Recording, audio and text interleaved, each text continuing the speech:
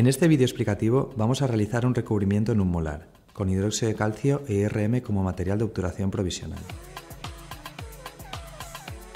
El material necesario para realizar este tratamiento va a ser hidróxido de calcio puro disuelto en suero fisiológico, IRM, una sonda y espejo dental,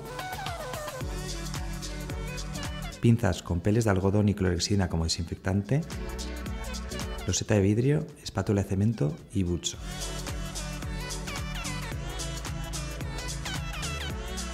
En primer lugar, deberemos recoger una pequeña cantidad de hidróxido de calcio de la mezcla preparada. Tomaremos un poco con una espátula de cemento y retiraremos el exceso de humedad con la ayuda de una gasa o algodón.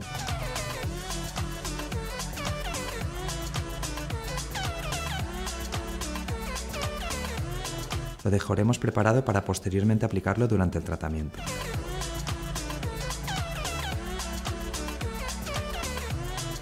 Mojaremos un pele de algodón con clorexidina y aseptizaremos la cavidad.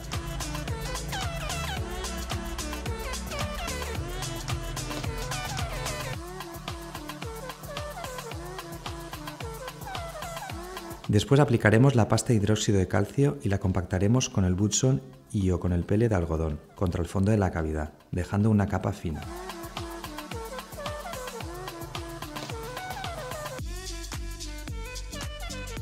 Los bordes de la cavidad deben quedar libres de este material.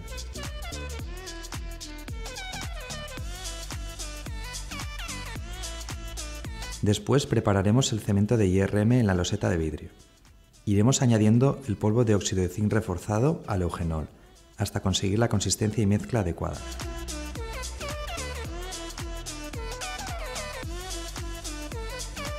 Hay que recordar que el material debe quedar en consistencia bastante dura para que no quede adherido a los instrumentos de modelado durante el transporte a la cavidad.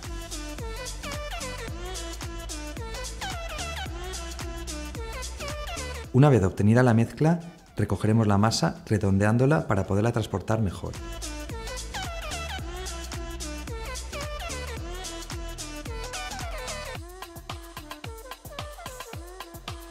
Llevaremos a la cavidad mediante el uso de una espátula e iremos condensando mediante el uso de condensador e instrumentos modeladores.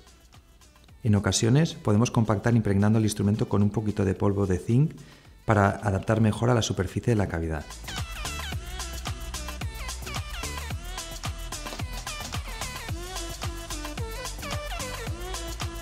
Esperaremos al fraguado del material y retocaremos la forma y la oclusión si es necesario con la ayuda de turbina y o contraángulo.